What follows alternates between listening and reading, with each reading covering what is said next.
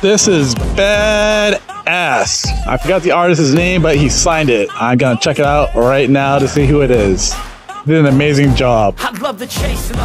Looks like muraldecor.com. JJ Rag. I'm gonna look you up right now, brother. This is bad ass.